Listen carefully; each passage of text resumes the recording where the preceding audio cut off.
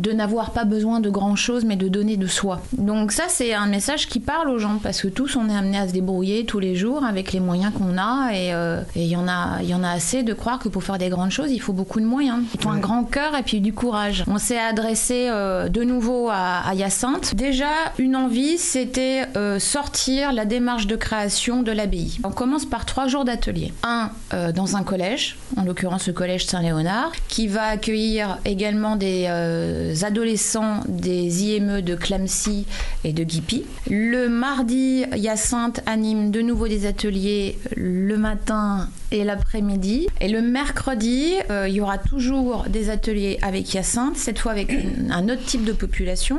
Donc maison de retraite de Corbigny, Monsieur Grand Clément, directeur, nous reçoit.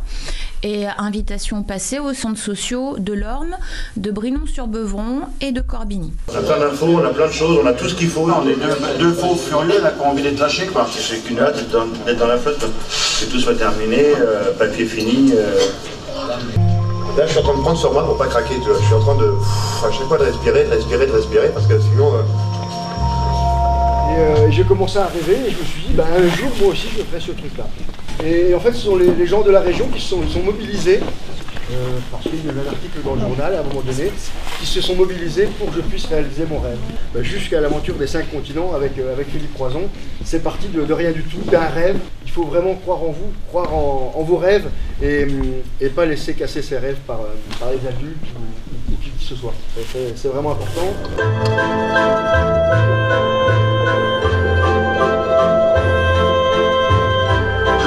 C'est un élément où je vole, je suis plus handicapé. T'as plus le fauteuil avec toi.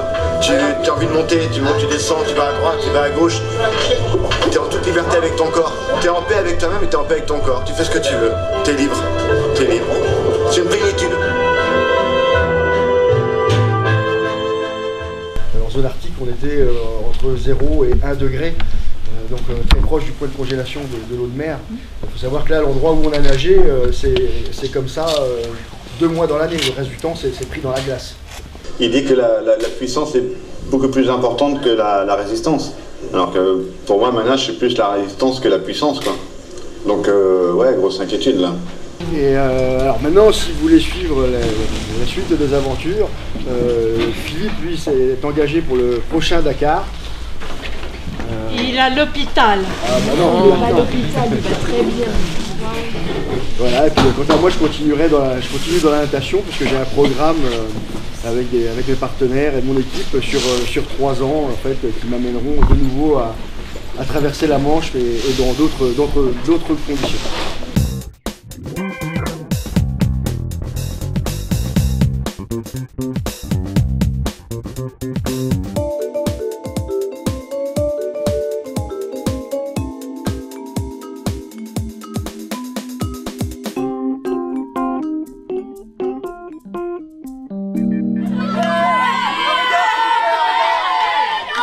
s'il vous plaît Pourquoi vous êtes